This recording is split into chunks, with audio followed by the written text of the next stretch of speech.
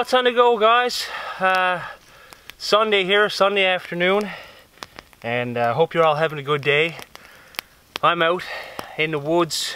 I'm actually picking out a new site where next weekend, me and uh, a good buddy of mine are going to come out and we're going to pitch the canvas tent and uh, spend at least one night in it, hopefully two. So I found a nice spot just off to the side of the fire pit.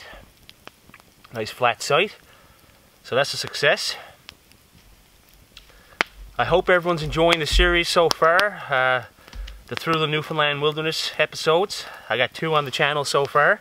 So if you haven't seen those, uh, I'll have a link at the end of this video where you can go to them, or you can just go to my channel and you'll see episode one and episode two. Uh, thanks for all the feedback, all the comments. I really appreciate it and glad you're all enjoying it. And so is old Saku. And we can't forget Beer. Beer would have been there, uh, but Beer had to stay home with her mom and keep her company while I was gone. So God love her for that. Uh, so the third episode is going to come out next week. Not quite sure on the day, guys. Uh, I'm thinking maybe Friday, but I might try a different time, uh, maybe Sunday afternoon, and see how that works out. Just to maybe, uh, you know, target a different group of people who watch it then. And of course, all you subscribers will still, you know, be able to watch it anytime, but I might mix it up there. So I'm just going to go over, actually I was just sitting around, I was, I wanted to have a, just a quick chat, nothing serious, but uh, I wanted to go through some of the items I take out with me, just a quick day, day pack here. I don't got a whole lot. Uh,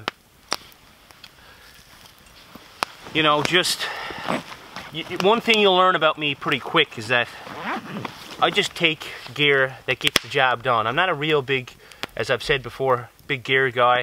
And, uh, you know, I, I, I, take with what I need and, and what works. But, uh, I mean, I don't really sort this out too often. I just fire things in before I go. Uh, some items always stay in this little bag. This is just a new one I got. My father gave it to me. Again, nothing fancy.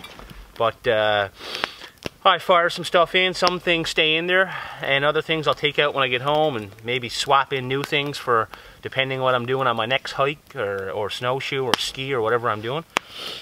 But, uh, so the only thing really in there now is food. This is just the pots I got. I mean, these are the same pots uh, I've been using for years now. I got my kettle there heating up over the fire. That's a Chinook kettle. It's like 850 milliliters. Uh, this is just an MSR pot. Came with two pots. But one of those pots is the one I lost on the Newfoundland trip, and you'll, you'll hear me talking about that in episode one. But uh, the pot and the lid, of course, the lid acts as a frying pan, and I have taken this on most of my, you know, short and longer expeditions. Comes with a nice little case to keep them in, and basically I just put the kettle in here, and then slip it into this little pouch, and good to go. So I got, uh, you know, besides that, I don't got much here today. Just enough to get me by. I got my teacup. Uh, I have my Scandinavian Forest axe, Gransfors and Brooks. Uh, Brooks, whatever, however you pronounce it. So, got this one with me. Nice axe, some good weight to it, and you know, it gets again, it gets the job done. Had that one for a couple years. I also have a lighter Fiskars axe, uh, just a shorter hatchet, and that's lightweight. And it also gets the job done, so sometimes I take that one. A lot of people out here now are using this uh, Agawa Canyon. I believe it's a 21 inch blade. You know, correct me in the comments if I'm wrong, I can't remember, but nice saw. It's uh, it breaks down, folds up into one kind of piece, like so.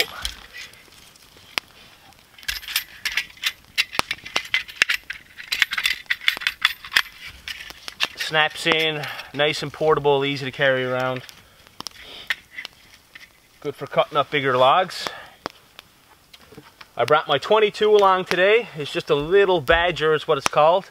And uh, a little 22 rifle rabbit season is still ongoing here in Newfoundland till about March 10th, I do believe. So if I see a rabbit along the way, try to secure a meal. Not often I see rabbits moving like that. I usually have better luck in my snares, which I had a few out earlier the year and got three. But uh, I don't usually see too many on the move. But I take the 22 just in case. There's also uh, coyotes around and even some wolves. Uh, although they're few and far here in Newfoundland, but they're, they are around. And uh, so it's always nice to have a little bit of protection too. Uh, you never know.